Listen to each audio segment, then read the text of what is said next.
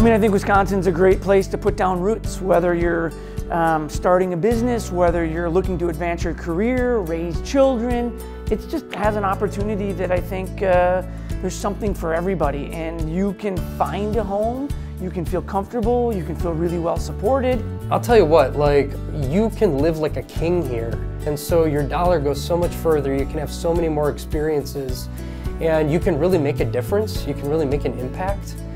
Cost of living is affordable, the people are approachable and easy to work with.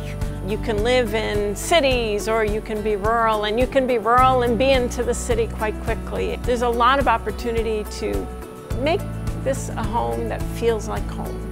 I think you have a, a state that is in the process of evolving and you have an opportunity to really be a part of, uh, of, of, that change. Uh, we, we say uh, as a state that we're trying to move you know, forward is one of our, our state themes. And so you know, this, this state is moving forward in a number of positive directions uh, compared to, you know, some of the other states. And it's no knock on anyone else, it's just more of a testament of the energy that's happening and some of the collaboration that is happening, um, public and private, to help push the state forward in, in ways that matter. At the end of the day, I would encourage anybody that's looking for somewhere to put down roots, consider Wisconsin. Visit it, ask questions, explore it, and I think you'll fall in love with it.